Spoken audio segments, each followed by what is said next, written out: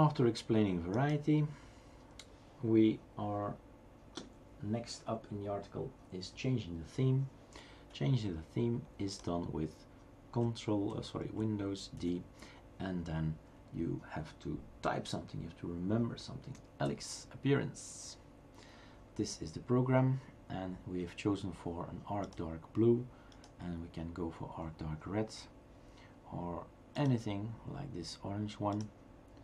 Uh, Okay, let's take arc dark Tacao because this one doesn't color red. I don't know why. Let's try it. And an icon theme, we have an, also a Tacao, I believe.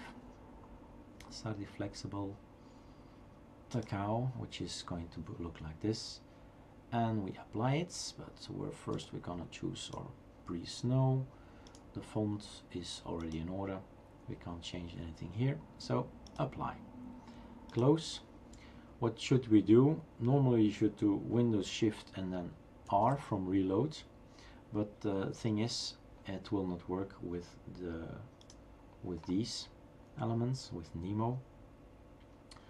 We can do Windows Shift Q, meaning Nemo is closed, and press Windows Shift Enter again in the hopes, but no such luck.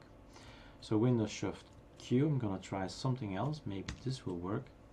But normally you really need to log off and log on. But then, um, well, my movie is not in problem. I'm gonna see if I can. Is it is it running at all? So kill all Nemo. Let's have a look. Well, no process. So we really need to log off, log on, and that's no problem since I'm filming. So Windows Shift E. Do you really want to exit i3? Yes, because I want you to rerun it.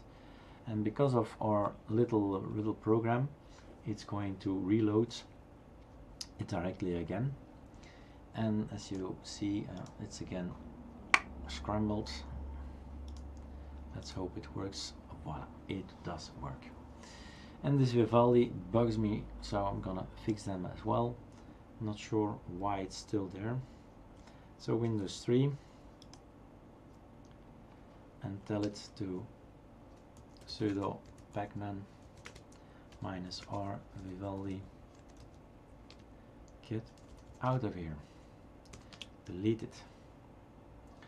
Like so. Control alt v.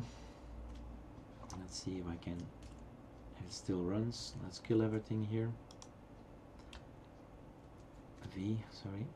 Ah, see from Catfish, that's good. But the Control Alt V, there is no more Vivaldi. I've deleted it. So the elements are now looking as they should. The Nemo has been changed. This is Tacao, this orange color. These icons are now um, Tacao colors. We could do, for instance, Windows 3 and then do a screen fetch. Let's see if it finds what it should find.